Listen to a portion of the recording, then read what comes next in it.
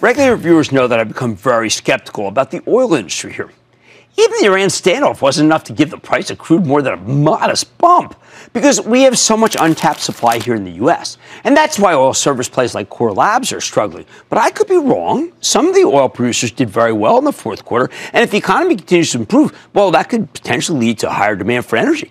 And that's why tonight I want to get a better read on the entire industry as well as a fantastic company. It's called Parsley Energy and Exploration Production Company, which I've been watching since it came public. It's a pure play on the Permian Basin, the oil rich region of Texas that's transformed the entire industry. Just today, the company closed on its acquisition of Jagged Peak Energy. They see a bright future for oil because they believe American producers will be more disciplined about bringing on new supply. So let's check in with Matt Gallagher, who's the president and CEO of Parsley Energy, learn more about his deal and where he sees the industry heading Wow, Mr. Gallagher, welcome to Mad Money.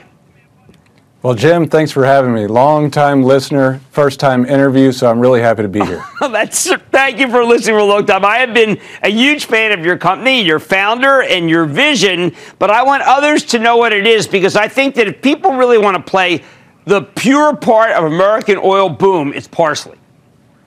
Well, that's right, and we're right in the core of the Permian Basin. We've been built from scratch as an unconventional shale player. We started drilling in 2009. We've seen the whole, horizontal evolution unfold in front of us, and we've been a part of it. And we're excited to close on our acquisition today, just a natural fit for Parsley Energy. Were you surprised at all with the increased tensions with Iran that we didn't have more of a move in oil? Well, actually, I, I think that we're a part of the reduced impact of that. So there were not lines around the gas pumps. We were able to keep the prices low because of this resource renaissance that we've been a part of as the shale producers. So you did not see that huge jump in pricing. And really, uh, this, this uh, growth in production that we've been able to deliver has, has helped insulate those impacts of geopolitical tension. So we're actually proud to be a part of that.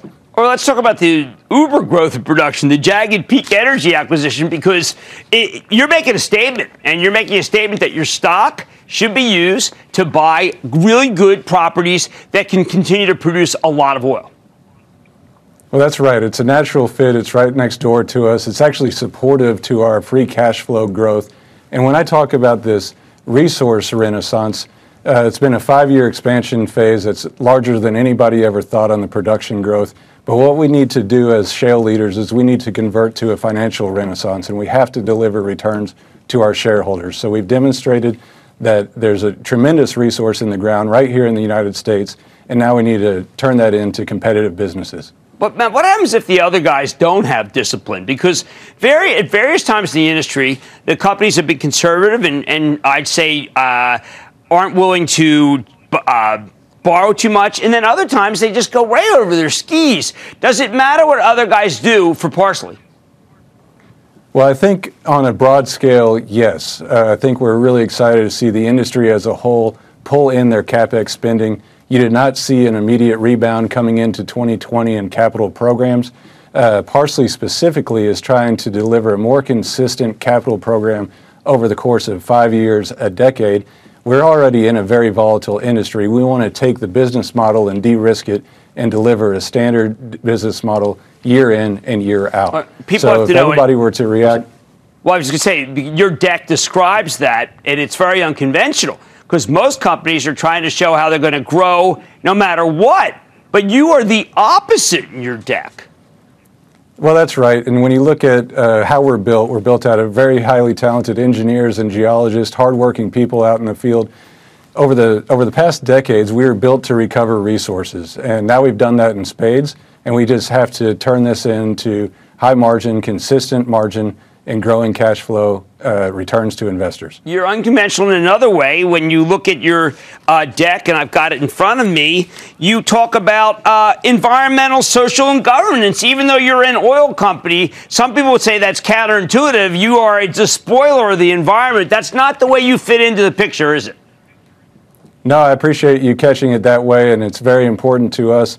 And a lot of people say, you know, I'm a millennial or I'm on the, the edge of millennials, and we hear these guys ask about the importance of social impacts to the companies. And when I hear millennials and, and people around this great city of Austin saying the importance of of social and environmental impact, I think, you know what, it's about time. And we need to take a leadership stance. All the oil and gas operators, especially the domestic operators, really have a leg up in how we do business. We like to hold things to the highest standards. We, we invest in our communities. Uh, we operate in and around the environments we live in, and we want to protect them to the best of our abilities. So we need to be accountable and we need to be transparent and we need to get better over time. So we put this baseline report out there as an inaugural report, and we're going to get better over time. We're looking forward to it. And that includes uh, not reckless flaring, which a lot of people are very worried about who care about the environment. Flaring is a very hot topic, and we pride ourselves in not hooking up wells and the long term planning needed ahead of time to reduce flaring. In fact, we flare well under 5%, 2% last year.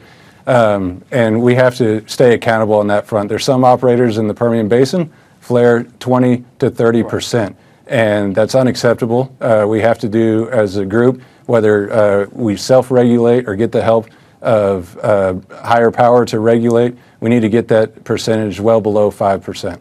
Well, congratulations for, for the company that you guys have built. It's remarkable, done in a very uh, in a very short time, but it's the pure play with great financial strictures, of which I'm not used to seeing from a lot of the oil companies, and certainly nothing from an oil company about environmental, social, and governance. Thank you so much, Matt Gallagher. Good to see you, sir. Great to see you, Jim. Thank you. All right, Matt's, uh, he's the president and CEO of Parsley Energy P. Hey, millennials, if you feel like you have to own an oil stock, this is really the only one I can recommend. Mad Money's back after the break. Don't miss a second of Mad Money. Follow at Jim Cramer on Twitter. Have a question? Tweet Cramer. Hashtag mad tweets. Send Jim an email to madmoney at cnbc.com or give us a call at 1 800 743 CNBC. Miss something? Head to madmoney.cnbc.com.